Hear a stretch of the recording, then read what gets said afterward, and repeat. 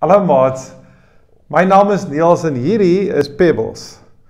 Pebbles het haar eie teddy. Haar teddy se naam is Hio. Hio het twee ore gehad, maar Pebbles besluit een oor moet gemerk word sodat almal weet dis haar teddy. Pebbles is baie lief vir haar teddy. Ek wil vandag verder vir julle Bybel lees. Ek uh, ek wil graag vir julle uit die Bybel uit lees en as jy luister, is die bedoeling dat jy min of meer 19, 11 jaar oud is. So Ek gaan probeer om vir julle uit die Bybel uit te lees die eerste verhaal van die Bybel uit die boek Genesis. Die boek Genesis, die naam Genesis beteken iets soos begin. Genesis 1 vers 1 uit die boodskap Bybel.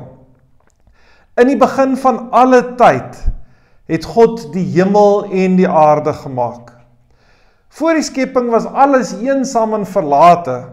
'n Angswekkende donkerte het oor die bodemlose dieptes gehang en 'n ongelooflike sterk wind het heeltyd oor die waters gewaai. God was egter daarin uitgesê laat daar lig wees. Skielik was daar oral lig. God was baie tevrede met die lig wat hy gemaak het. Hy het dit apart van die donkerte gehou. God het die lig dag genoem en die donkerte het God nag genoem. Dit het nag geword en weer dag. Dit was die eerste skepping, eerste dag van die skepping. As jy As jy dink oor 'n dag, wanneer begin 'n dag? Die meeste van ons dink 'n dag begin vroeg in die oggend as jy opstaan.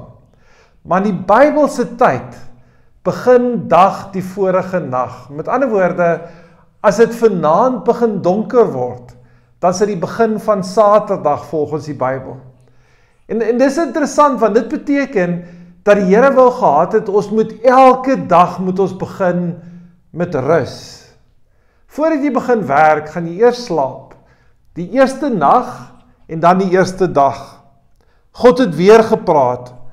Laat daar 'n soliede massa in die middel van al die waters kom, sodat 'n duidelike skeiding tussen die waters bokant en die water onderkant sal wees en dit het gebeur. God het toe hierdie soliede struktuur gemaak.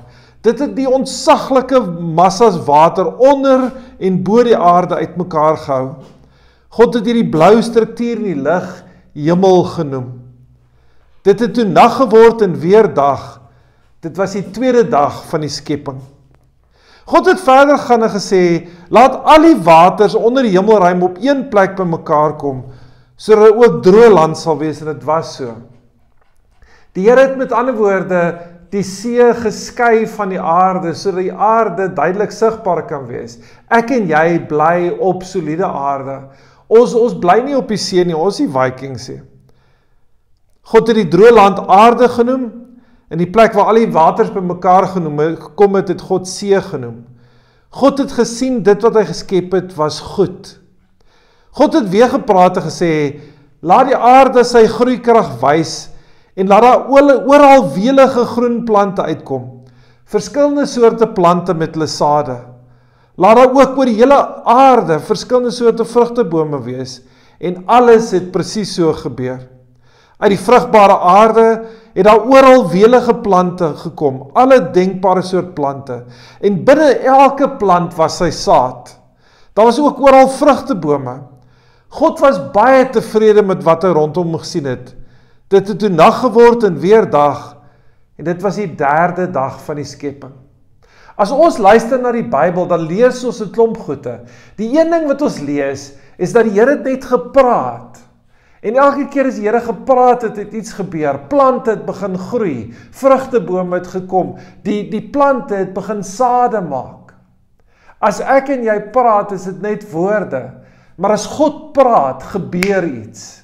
As God praat, is daar skielik skepingskrag in alles wat gebeur. Die tweede ding wat die Bybel die heeltyd vir ons sê, is God het gekyk na alles wat hy gemaak het en elke ding wat God gemaak het was goed. Dit was baie goed. Ons dien die wonderlike God wat alles perfek maak. Daar's nie 'n stukkie sleg in wat God maak nie. Alles wat God gemaak het is goed.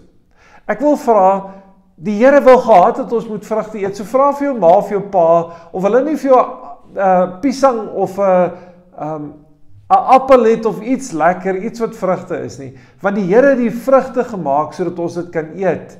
Die Here het die groen plante gemaak so die beeste gras het om te eet en die skape kan wei. Voordat die Here die diere gemaak het, het die Here eers die plante gemaak so die plante altyd kos sal hê.